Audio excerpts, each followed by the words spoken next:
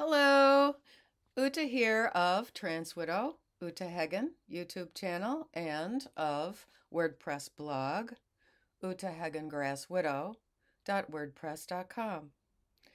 This is my uh, recently picked Jowey Winnie dahlia. They're starting to all come down in the rain. We've had so much rain.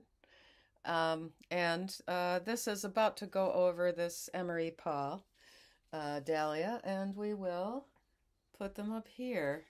Now, it happens to be September 11th, 2023. And uh, I'm just going to say to the cross sex ideating man who wrote a lengthy comment that I have no interest in reading all the way until the end. Um, uh, it's just so tone deaf to write this self congratulatory comment to me um, on September 11th. I was there in New York City. I was in Brooklyn, right across the East River from everything. I heard the first impact.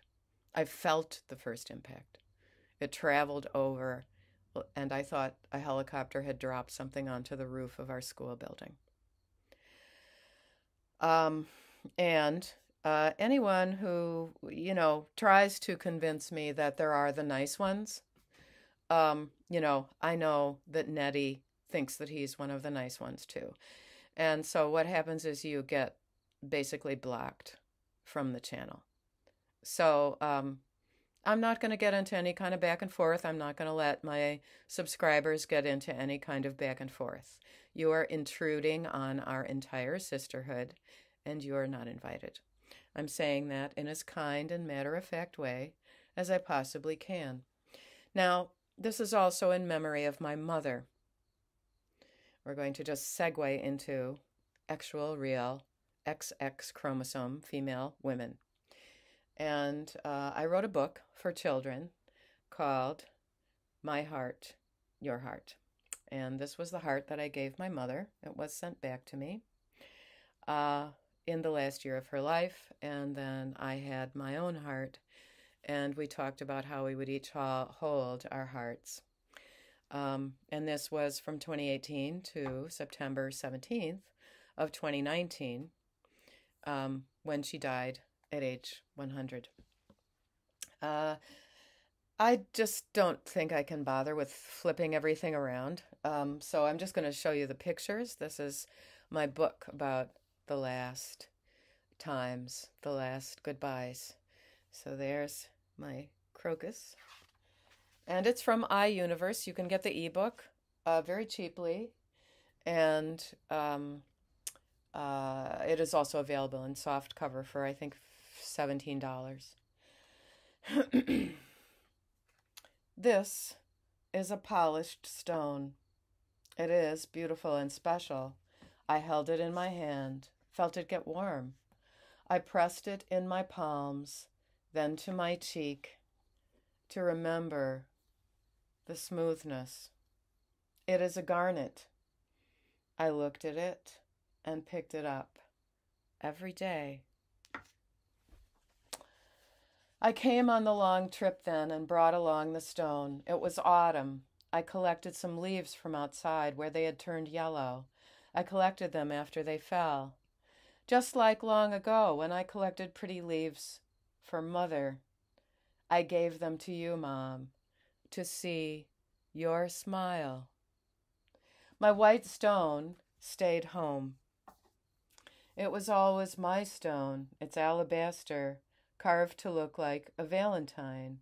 It also warms up when I hold it in my hand. It is the twin of your garnet heart. The garnet is shaped more like a real heart beating inside your chest. I found some moss to bring to you, and we touched its softness. We talked about the moss on my place and how I always brought moss home when I was little. You and I would touch it back then too. We both loved nature. My alabaster heart reflects back the light, just like the moon. Let's see if it, oh, it is kind of reflective. There you go. Find the moon and think of me. I will find you in the moon, too. I told you about the half fallen oak on my place. You are old, but this oak is much older. See how part of it has fallen? We thought and thought about that storm. It must have been a long one and a big one. The mighty trunk is like us, like you and me. We have seen so much, and yet we still stand. Your heart has often been a light-hearted heart. Other old things and toys are fond of it. And I had a picture of these things of my father's. It is important when we are far away to find the light-hearted little things. We look for the light, the reflections of this world as we live our closeness. We are lucky for our closeness from near or from far. Look, a tree floats in this water. Do you see? It is a blessing, we say to each other. My heart found a place with friends too. Remember when I brought a frog inside as a surprise for you? I do. Winter came and we saw the trees turn to frozen lace. Each of our own each in our own places now we wrote to each other. We read good books and we talked about them. You told me that you read my letters 5 times. That made me smile and I wrote more. Remember our friend Meveline? We loved her so much. I named my Meveline after her. There she is, with Dad's baby shoe. We always wondered, what happened to the other shoe? There's my doll, Meveline. You can't really see the shoe in the picture. But we did wonder what happened to the other shoe. Oh, and it's it was stuffed inside with some little tiny pieces of fabric from my father's mother, because that was his baby shoe. Spring came and I came to you again. I was so happy to hold your garnet and make it warm for your hands. You tried to give it back to me. I said, No. I have its twin. We can hold our stones and be close to each other. My stone stayed back and watched over the place. It shone like the moon day and night. Find the moon and think of me. I will find you in the moon, too. That last goodbye we had was so hard, but we were brave. You still had your heart, and I had mine. We had the moon. The moon is ours always. I grew flowers for your butterflies. I sketched and painted and sent. You had them all over your little room. So did I in my outside rooms. One day I saw more than 25. I thank you now for them. Today, our hearts are together again.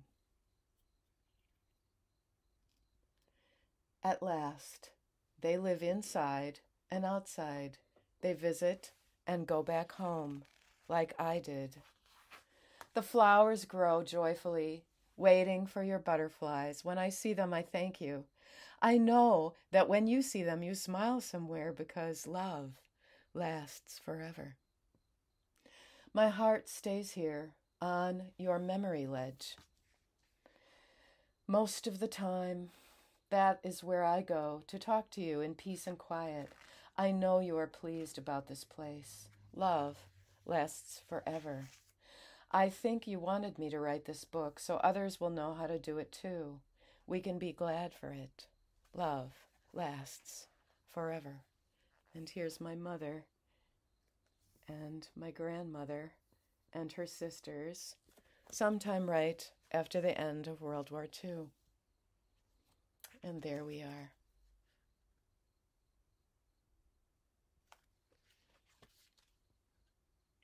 Respect your body. Don't change your body like that. Be well always in mind and body.